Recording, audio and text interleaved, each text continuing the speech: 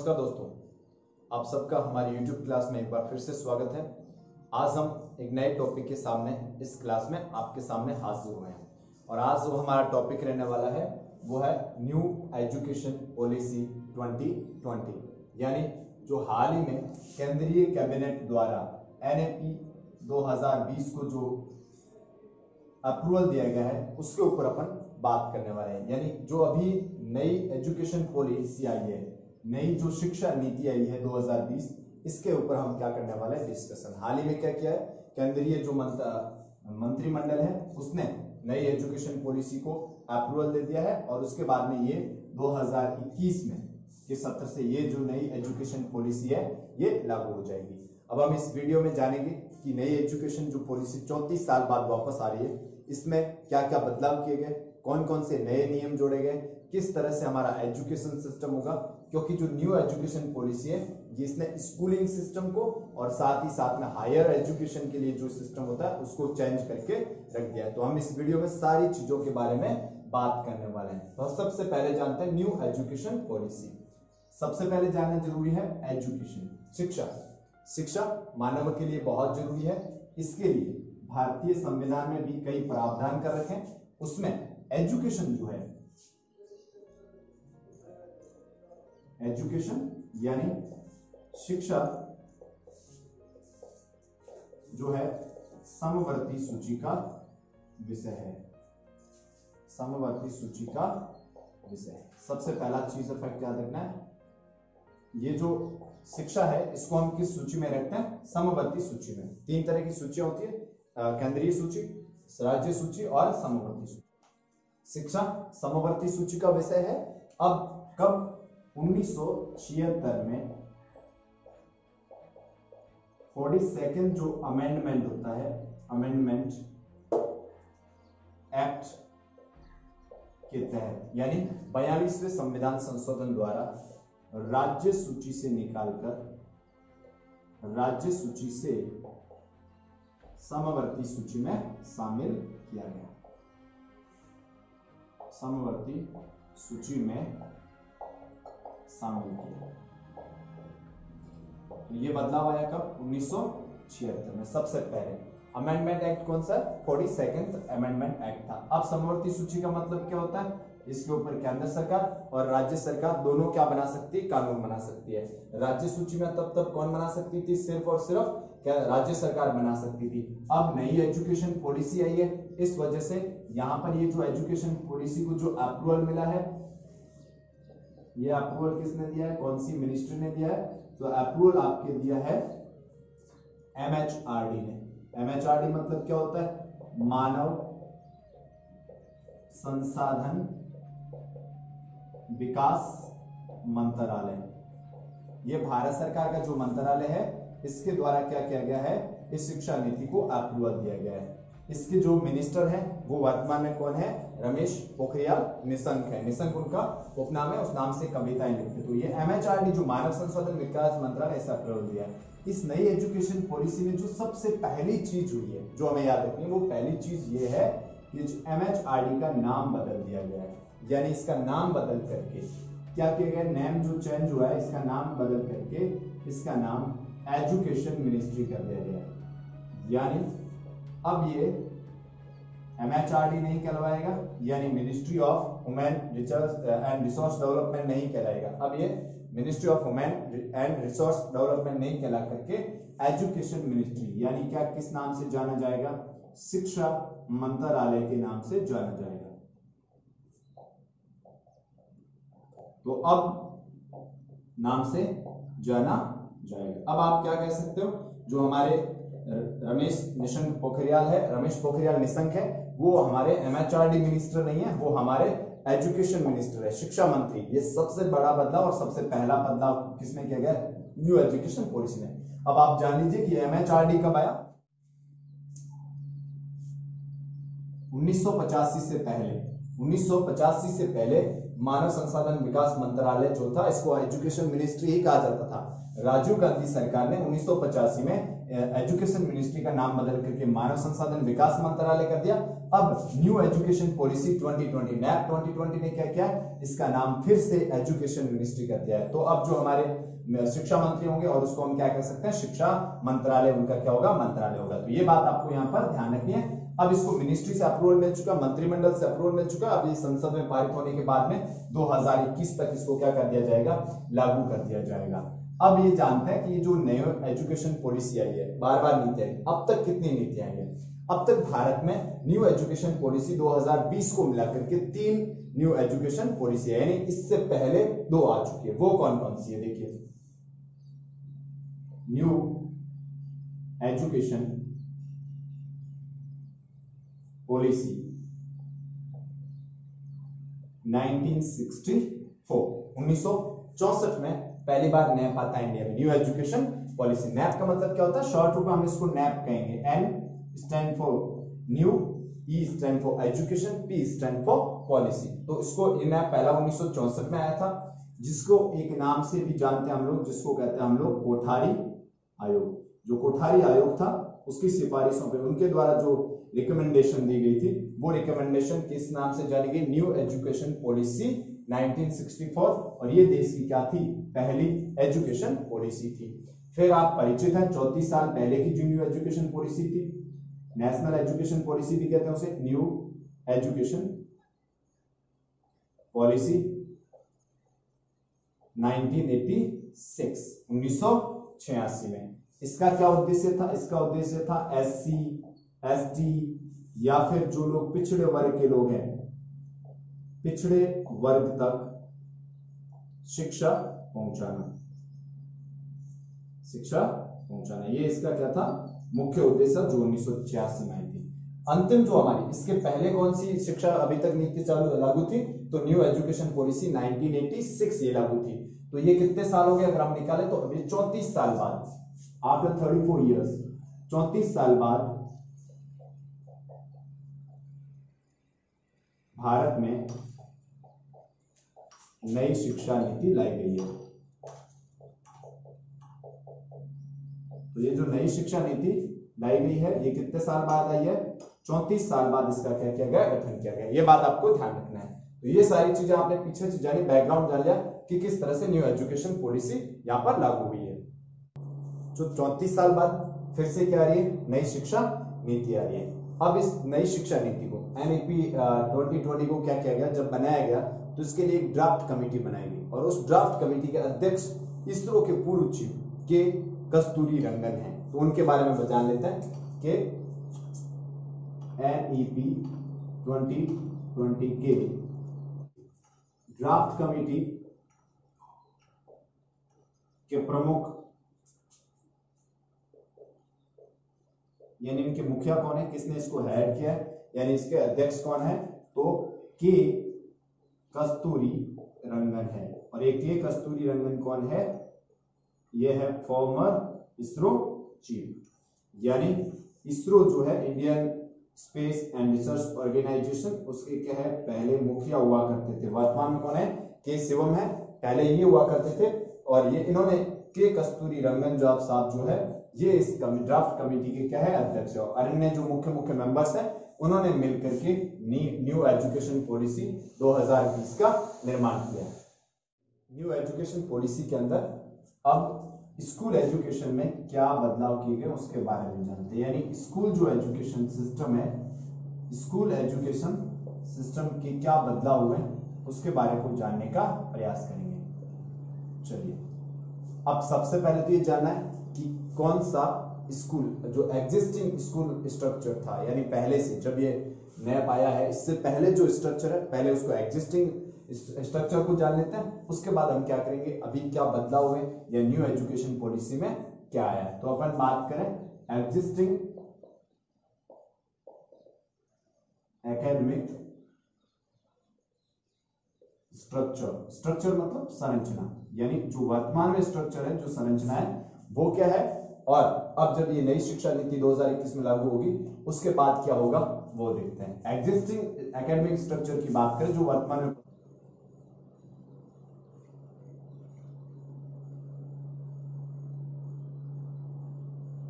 Zero से छह साल के लिए कोई शिक्षा नहीं है।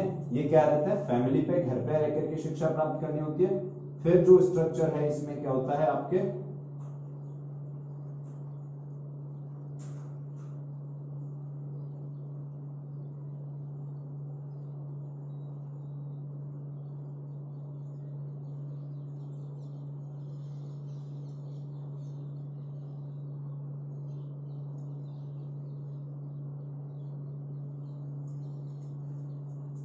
देखिए वर्तमान एग्जिस्टिंग एकेडमिक जो स्ट्रक्चर है। इसको हम कहते हैं टेन प्लस टू स्ट्रक्चर यानी दस प्लस दो स्ट्रक्चर कहते हैं। इसमें क्या होता है? जो हमारा स्कूल एजुकेशन होता है, वो छह साल से शुरू होता है और सोलह साल तक। ये तो हमारा क्या होगा? आपके दसवीं तक है यानी दसवीं, छह साल से चौदह साल का जो एज ग्रुप के स्टूडेंट्स होते हैं, वो कहाँ तक पढ़ते हैं? तो वो पहली से लेकर दसवीं क्लास तक यहाँ पर क्या होता है? स्टडी होता है। यानी आप पहले से दसवीं तक पढ़ते हो, छह साल में बच्चा क्या रहता है? पहली बार स्कूल जाता है, सोलह साल तक एज तक इस स्कूल में रहता है और एक से दसवीं क्लास तक पास होता है। जैसे आप दसवीं पास करते हो, उसको हम कहते हैं टेन प्लस टू। दसवीं पास हो गया तो उसके बाद ग्यारहवीं में एडमिशन होता है और सोलह से लेकर अट्ठारह साल का एज आपका। एज ग्रुप जो होगा, सोलह से अठारह, उसमें किस कक्षा का अध्ययन होता है? ग्यारहवीं से बारहवीं क्लास तो ये जो हमारा स्ट्रक्चर था एग्जिस्टिंग वर्तमान में यह स्ट्रक्चर काम करता है। छह साल का बच्चा घर पे रहता है। अब यहाँ तक छह साल में जैसे स्कूल में एडमिशन होगा तो एक से पहली क्लास से लेकर दसवीं क्लास तक की शिक्षा होती थी। उसके बाद ग्यारहवीं और बारहवीं, और ये क्या एज तक सोलह से अठारह, और जैसे ही सोलह से अठारह के बाद में, अठारह में जो बारहवीं पास होने के बाद में क्या होता हायर एजुकेशन यानी कॉलेज एजुकेशन तो ये प्री कॉलेज क्या था? आपका प्री यूनिवर्सिटी स्टेज था, दो साल का। तो ये पहले से क्या हमारा एग्जिस्टिंग एकेडमिक स्ट्रक्चर है, जो छह से सोलह साल तक पहली से दसवीं क्लास और सोलह से अठारह साल ग्यारह से बारहवीं तक। अब क्या किया गया है? इसको, इस दो स्टेज को आपके चार स्टेजेस में शामिल किया गया है। यानी न्यू एजुकेशन पॉलिसी स्ट्रक्चर क्या होगा? यानी अभी जो स्ट्रक्चर बना है, वो क्या होगा? 2020 में ये पॉलिसी लागू होने के बाद जो स्ट्रक्चर है, उसमें क्या बदलाव किए गए हैं? अब इसको 10 प्लस टू को बदल करके 5 plus three plus three plus ये कर दिया गया। यानी पहले जो दो पार्ट में हमारे स्कूल एजुकेशन खत्म हो जाता था, अब वही स्कूल एजुकेशन आपके चार भागों में कंप्लीट होगा। पाँच, तीन तीन और चार। अब इन चारों स्टेजेस के हम क्या जान लेते हैं? नाम जान लेते हैं। जो सबसे पहला या जो सबसे शुरुआत वाला, यानी जो मैंने पाँच लिखा है, उस पाँच का मतलब क्या है? इस स्टेज को हम फाउंडेशनल स्टेज कहते हैं। फाउंडेशनल स्टेज अब आप कहोगे इसका हिंदी क्या है? इसका कोई हिंदी नहीं है, यानी ये फाउंडेशनल स्टेज है। आधार कह सकते हो आप, यानी ये क्या है, शिक्षा का यहाँ से क्या होगी, शिक्षा शुरू होगी। ये फाउंडेशनल स्टेज है। इसके बाद नया जो स्टेज आता है, इसके बाद का जो स्टेज है नेक्स्ट है क्री पैरेटरी स्टेज अब ये स्टेज प्री पैरेटरी स्टेज इसके बारे में बात कर लेते ये दूसरा स्टेज है आपका। तीसरा जो है, इसको हम कहेंगे मिडल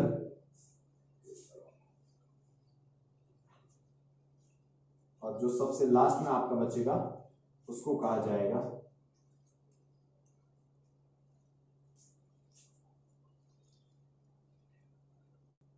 यह है सेकेंडरी स्टेज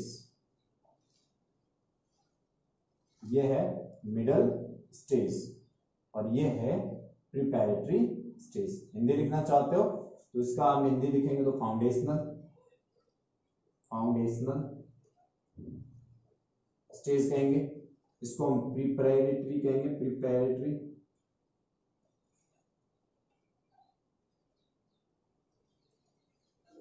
प्रिपेरेटरी स्टेज इसको हम मिडल स्टेज कहेंगे।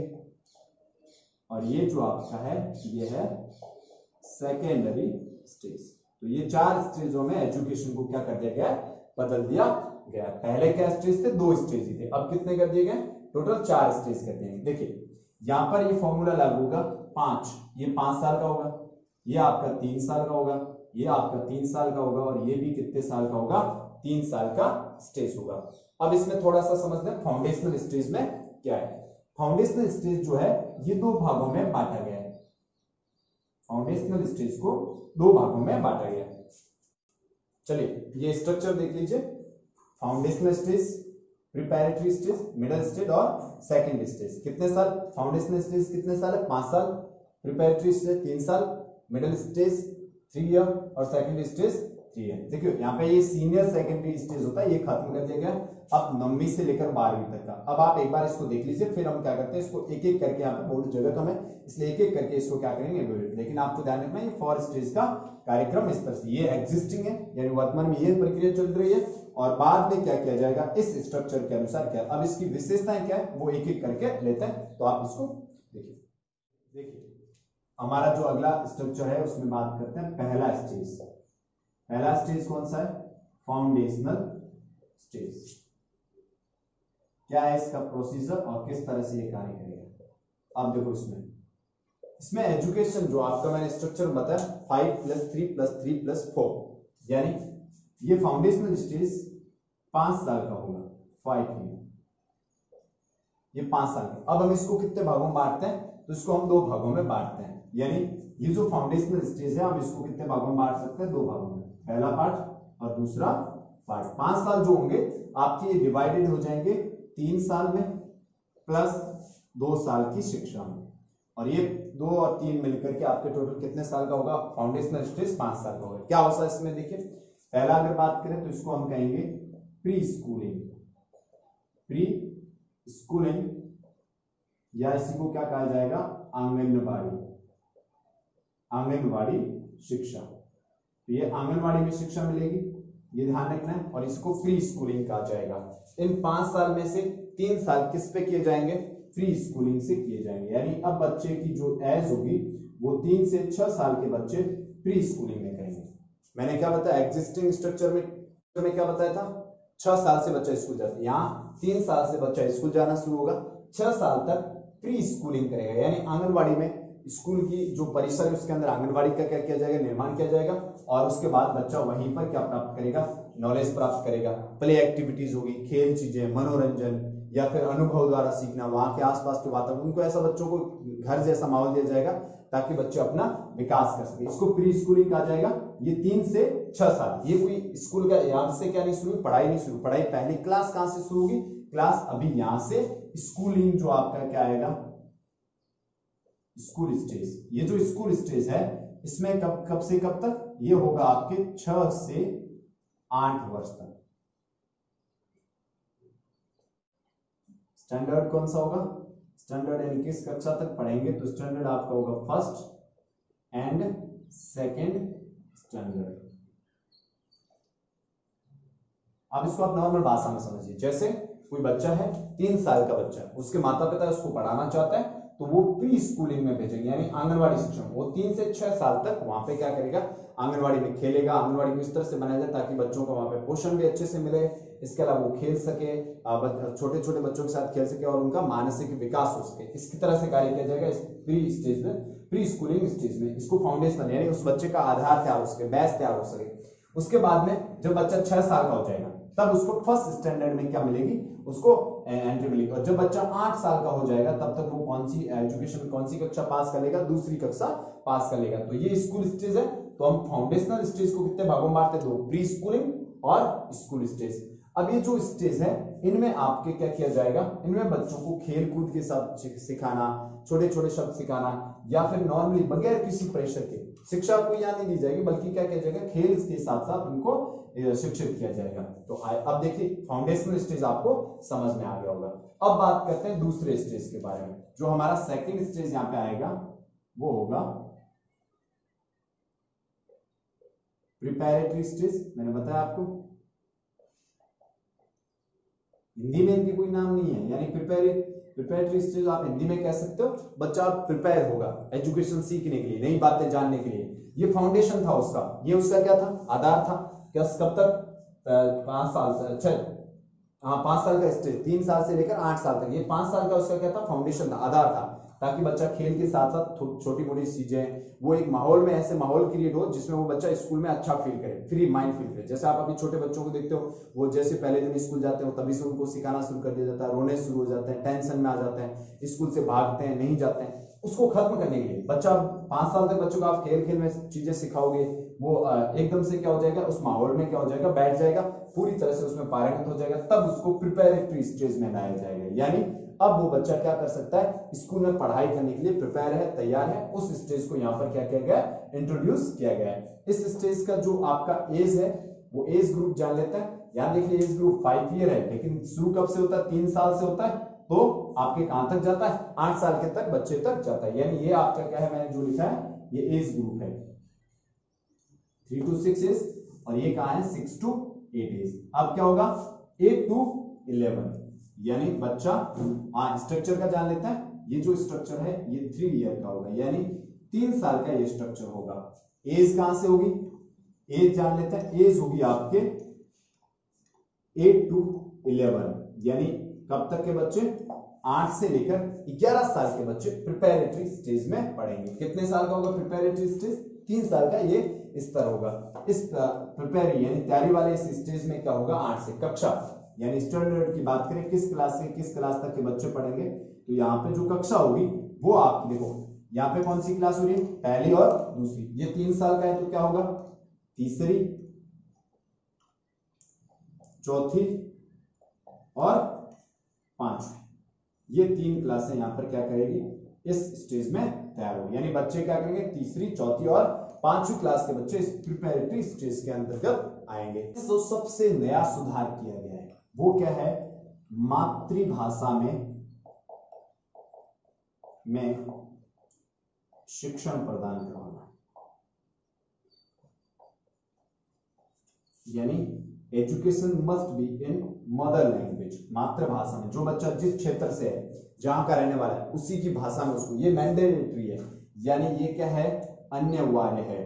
अन्यवार्य क्या है कि उस बच्चे को वो मातृभाषा में ही शिक्षण करवाया जाएगा। कब से कब तक? इस तीन साल के प्रिपेरेटरी स्टेज में, चौथी, तीसरी, चौथी और पांचवी क्लास में सिर्फ़ और सिर्फ़ जो शिक्षा है मात्र इस एनएपी में क्या लिख रखा है? इसमें ये लिख रखा है ये इस स्टेज तक तो है ही है। साथ ही साथ में जो मिडिल स्टेज है, कोशिश ये की जानी चाहिए कि मिडिल स्टेज तक भी मातृभाषा को क्या किया जाए इंट्रोड्यूस किया जाए, बच्चों को मातृभाषा में सिखाया जाए। इस कारण इसको क्या किया गया, ऐसा किया गया। ऐसा इसलिए माना जाता है कि वहाँ पर मातृभाषा में अगर कोई चीज़ सिखाते तो बच्चा जल्दी सीख जाता है, उसके ऊपर एजुकेशन का बर्डन नहीं लगता, उसे भार नहीं लगता वो आसानी से सीख सकता है। इसके लिए क्या किया गया, अनिवार्य कर दिया गया है कि मातृभाषा क्या की होगी, यहाँ पर सिखाई जाएगी। क्या किया गया है? स्टेट विल डिसाइड यानी जो राज्य है राज्य तय करेंगे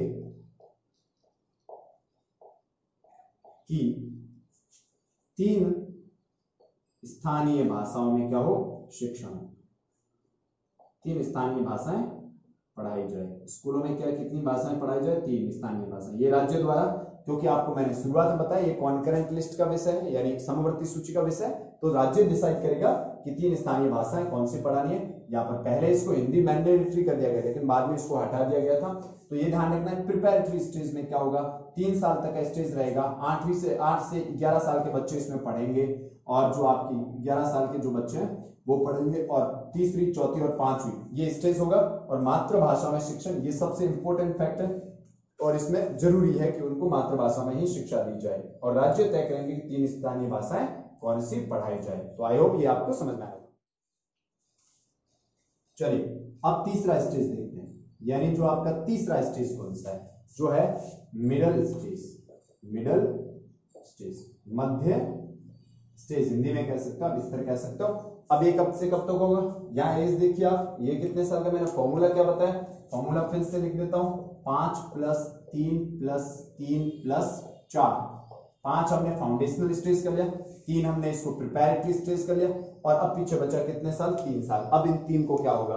ये जो थ्री है थ्री ईयर्स ये जो आपका मिडिल स्टेज रहने वाला है, तीन साल का रहने वाला है। एज ग्रुप जान लेते हैं, कौन से एज ग्रुप के स्टूडेंट्स इसके अंतर्गत आएँगे? तो आप अनुमान लगा सकते हैं, यानी ग्यारह से चौदह साल। इलेवन टू फोर्टीन ईयर्स ये एज ग्रुप रहेगा। ग्यारह से चौदह साल के बच्चे इसमें क्या होंगे? शामिल होंगे। कौन से? मिडिल स्टेज में मध्य स्तर में तीन साल है तो यहाँ तक हम पांचवी क्लास कर चुके हैं। तो यहाँ से जो स्टैंडर्ड होगा, कक्षा होगी तो कक्षा कौन सी बनेगी? तीन आपके सिक्स टू एट यानी छठी से लेकर आठवीं तक के स्टूडेंट्स इसमें क्या करेंगे? इस स्टेज में पढ़ाई करेंगे। देखिए सिक्स टू एट स्टेज तक यहाँ तक एजुकेशन होगा। एक तो क्या होगी? प्रायोगिक शिक्षा दी जाएगी, यानी बच्चा प्रयोग करके सीखने जैसी शिक्षा दी जाएगी। किस किसमें? विज्ञान के क्षेत्र में, विज्ञान के क्षेत्र में बच्चा सीख सके। इसके अलावा सामाजिक अध्ययन के अंदर और आपके विज्ञान, सामाजिक अध्ययन, कला, इन सब के अंदर क्या दी जाएगी? शिक्षा दी जाएगी। जो हमारा फोर्थ स्टेज रहने वाला हो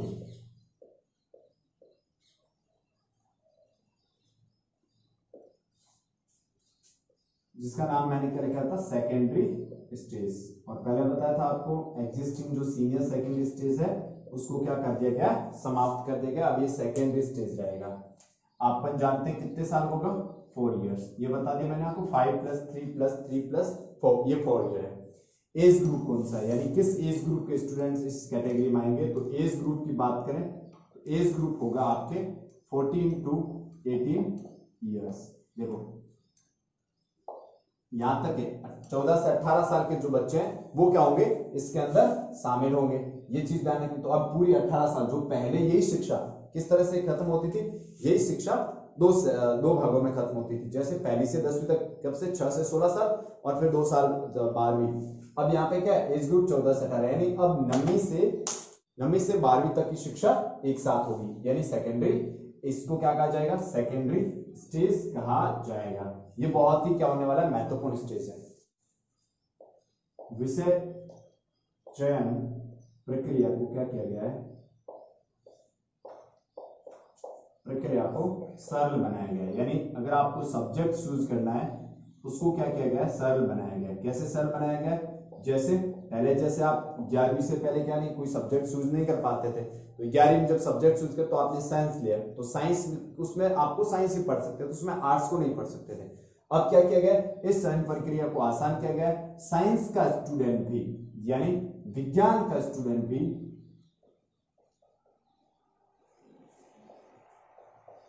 विद्यार्थी भी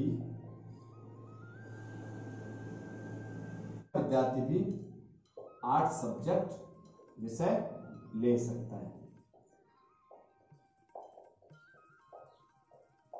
तो सब्जेक्ट चयन स्ट्रिक्टली फॉलो नहीं किया जाएगा। स्ट्रिक्टली फॉलो नहीं करने का मतलब क्या?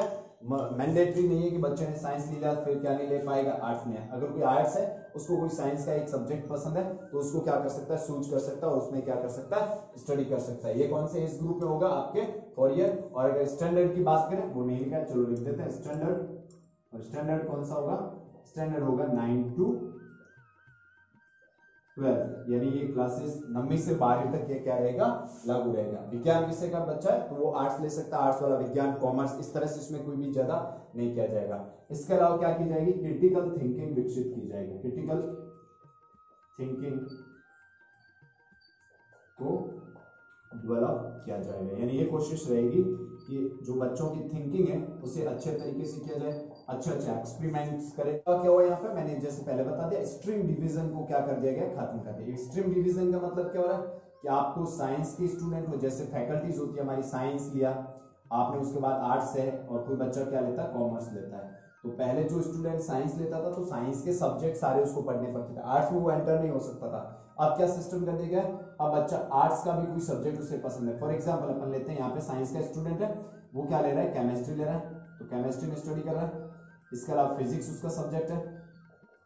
और इसके अलावा बायोलॉजी है। अब उस बच्चे को हिस्ट्री में क्या है? इंटरेस्ट है। तो वो हिस्ट्री सब्जेक्ट लेना चाहता है। तो ये इसके साथ क्या कर सकता है? हिस्ट्री ले सकता है। स्ट्रीम डिवीज़न जो पहले बहुत स्ट्रिक्ट था, अब उसको क्या कर देगा? बहुत इजी कर देगा। कोई भी स्टूडेंट स्ट्रीम डिवीज़न में क्या नहीं होगा? परेशान नहीं होगा। ये आपको सारी चीज़ें यहाँ पर याद रखनी है। अब बात बची बोर्ड की। बोर्ड होंगे। बोर्ड जो आपका है बोर्ड एग्ज़ाम है। बोर्ड एग्ज़ाम दसवीं और बारहवीं के। बोर्ड एग्ज़ाम होंगे। लेकिन बोर्ड एग्ज़ाम को क्या कर दिया गया है? एग्ज़ाम को सरल बनाया गया यानी ज़्यादा उसमें क्या नहीं किया गया? उसको कठोर नहीं रखा गया, इतना ज़्यादा प्रेशराइज नहीं किया जाएगा। इसके अलावा जो स्टूडेंट बोर्ड एग्ज़ाम को क्या बनाया गया है? सरल बनाया गया, यानी बोर्ड एग्ज़ाम अब आसान हो जाएँगे। उसमें क्या वस्तु वस्तुनिष्ठ सवाल भी साथ साथ क्या किया जाएँगे? पूछे जाएँगे।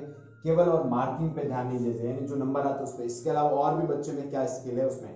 और अगर कोई बच्चा बोर्ड एग्ज़ाम में अगर उसके परसेंटेज कम बनते हैं तो फिर से मौका दिया जाएगा उसको अपने परसेंटेज इंप्रूव करने के लिए। तो ये बोर्ड एग्ज़ाम दसवीं बारहवीं के क्या हो जाएँगे? सरल हो जाएँगे न्यू एजुकेशन पॉलिसी के बाद में।